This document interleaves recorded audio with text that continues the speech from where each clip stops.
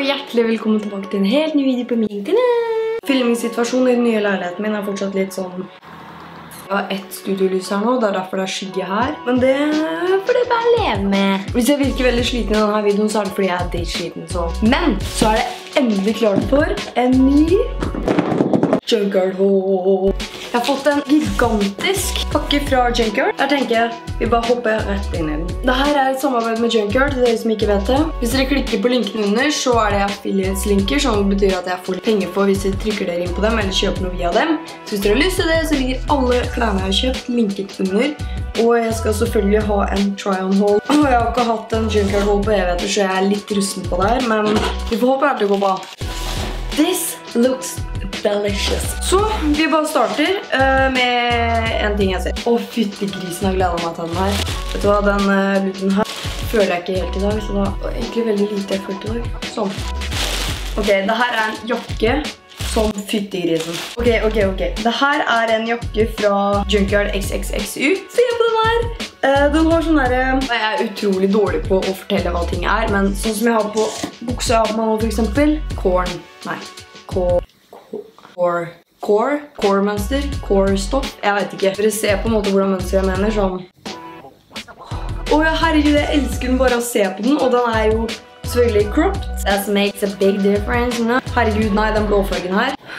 Så jeg har liksom ikke ord, for at jeg er så sinnssykt glad hver gang jeg får på en måte ting fra Junkyard, fordi jeg lever for Junkyard. Junkyard er stilen min, og Junkyard er det jeg har. Ok, greit. Jeg ser enda noe mer sånn core-greier. Altså, jeg unnskyld til dere som er sånn skikkelig flinke på styling og sånn og liksom vet alt hva alt heter. Jeg er så god på navn, så jeg bare sier sånn core. Det er en bukse! Ja, Sweet Skateboards. Samme på en måte stoff som jakka.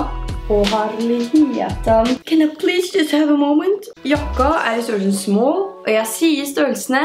Beklager til dere som blir offenda av at jeg sier størrelsene. Det er ikke meningen. Noen ganger så hjelper det å si en størrelse så folk kan sammenligne med seg selv. Dette er en bukse som er svart, med sånn core-greier, og så er den veldig løs i beina. Jeg vet ikke hvordan jeg skal forklare det, det er en skatebukse. Den har sånn her ring, den har sånn her ring som du kan henge på sånn, hva heter det, kjetting, eller nøklene dine, sånne ting som er veldig inn, så åh, den var fin. Åh, jeg gleder meg. Fyttegrisen.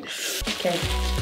Fyttegrisen. Dette er et merke jeg var i når jeg var i England. Oppdag, oppdage det her merket, og det er Lazy OF. Bestilte en kjole derfra, som er egentlig veldig rar, men jeg tenker å style den sånn på min måte. Så den ser sånn her ut. Er, sånn er, det ikke Betty Boo?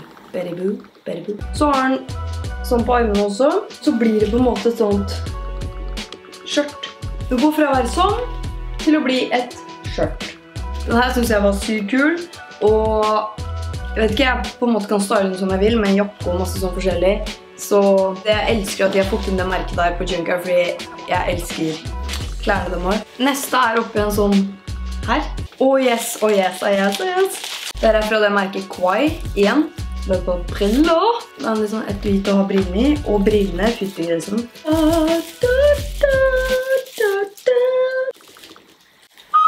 Fytti grisen, altså. Å, Gud. Du kan på en måte ha dem hvordan du vil. Fyttegrisen, jeg elsker dem allerede. Å nei, jeg, jeg elsker dem. Fyttegrisen. Sånn her ut. Veldig fine briller. Sykule. Neste. Vi kan ta den her, for den her er ikke så min stil. Jeg måtte liksom prøve ut noe nytt. Så det her er en veldig sånn tynn og gjennomsiktig leopardkjole, som egentlig er dritkul. Jeg har sett mange ulike sånne leopardkjoler om dagen. Det jeg kjøper er egentlig små, så hvis jeg sier noe annet, så er klærne, eller hvis ikke jeg sier noe, så er klærne i små. Så den ser sånn her ut. Så er den sånn veldig lang og flowy. Det er veldig vanskelig å vise på kamera, men det er en veldig tynn flowy. Det kjennes ut som et, jeg kunne sendt bort det som et chat. Det er i hvert fall en lang, eh, ganske gjennomsiktig kjole, vil jeg tro. Nothing special, really. I just really like when I try out some new things. So, okay, shut up. En jakke. Å gud, det var deilig stoff. Ok, så dette er en kåpe eller en jakke fra Junkyard XXY, som er veldig deilig stoff. Den ser her ut, den er rød innvendig, og så har den dette mønstret her. Det er så vanskelig å vise klær på kamera, men det skjønner når jeg har det på etterpå, ikke sant? Eh, så har den lommer, og egentlig, nei, en veldig fin kåpe. Jeg tenkte sånn, jeg vet ikke om det er min stil, men jeg prøver det, fordi den var dritfet på bildene. Og nei, jeg gleder meg sinnssykt mye til å bruke den her når det blir høst og sånt. Da er det jo hvert september, så jeg er, veldig lei meg, men da kan jeg bruke litt høstday. Next! Jeg tror jeg bestilte et skjørt fra uh, The Rag Priest. Det var dritkult skjørt, for å si det mildt. Den her ser skjørt ut. Og den har sånn bling-bling her. Den føler liksom et belte. Jeg synes den ser litt liten ut, egentlig. Det har rundt livet. Den passer sikkert. Den er i small og er egentlig et skjørt. Så jeg vet ikke helt om jeg får brukt så veldig mye skjørt nå, men uh, det var veldig kult. Jeg digget det, og man kan style det så sinnssykt kult. Så hvis dere vet en ting jeg elsker, så er det klær.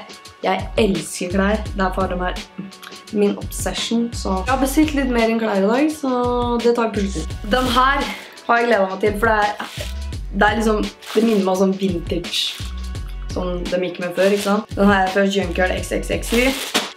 En litt sånn cropped Um, stripete vintage-looking genser som ser sinnssykt kul ut. Jeg gleder meg sykt mye til å bruke den. Så står det fresh. Så er den lilla og har sånn lyse, lyse rosa striper. Nei, jeg synes den ser dritkul ut, og man kan også style den her med veldig mange sånne kule basic bukser. I love this. It's like a vintage shop, so I love it. Ok, en ny bukse som er veldig spennende farge. Uh, the Ragged Pressed.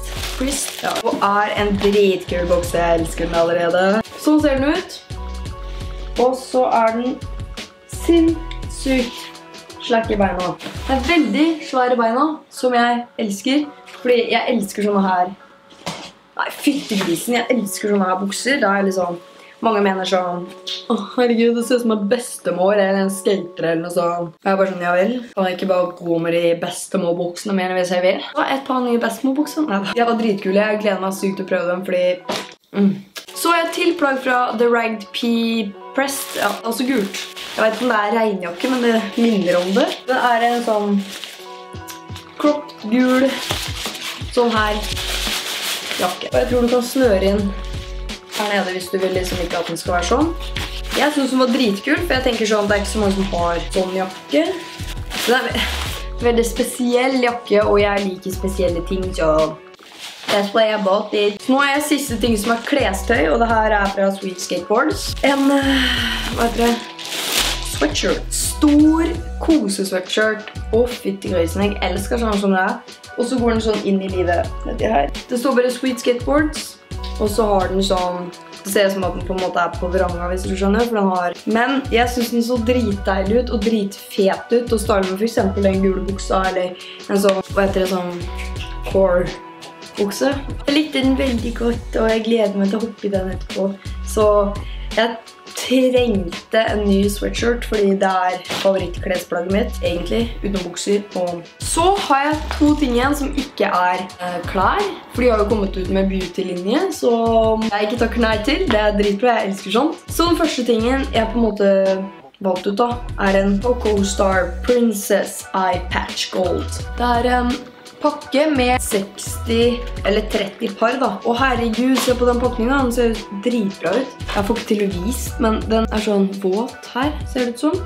Og så oppi her så finner jeg en spade. Og oppi her så ligger alle disse, greiene du kan ha under øynene, sånne eye patch. Eh, herregud, jeg er surt til å forklare. Helt... Jeg elsker sånn å bare slappe av og legge to sånne greier under ørene mine. Så... Og sånn siste tingene jeg kjøpte som ikke var klær, er en krølltang.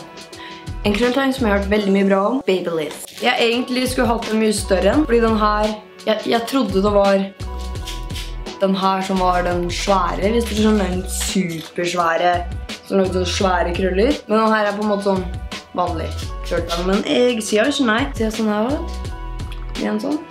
Jeg skulle vise at de hadde både sminke og klær og alt det kule de har fått i noe i det siste. Så jeg håper virkelig dere likte dagens video, og hvis dere gjorde det, så gjerne inn en thumbs up. Synes det er litt vanskelig å gjøre disse klærvideoene så veldig morsomme, men ja, så jeg håper i hvert fall dere likte dagens video. Og så ses vi med neste video.